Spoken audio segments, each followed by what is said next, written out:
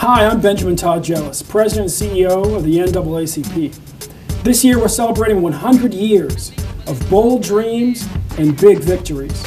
NAACP has always been concerned with uh, guaranteeing and, and, forwarding the rights of disenfranchised people. All Americans have benefited. Sometimes people, that's the only hope that we have is the yes. NAACP. Yes. They've They're made ex extremely bold move from getting legislation passed to protesting to being active to being visible to being by, for, and about equality for everybody, especially those people of color. As a country, we are on a bold path um, and we're seeing what is possible. We can be leaders in our own communities, and there is something for each of us to do to keep moving us all forward.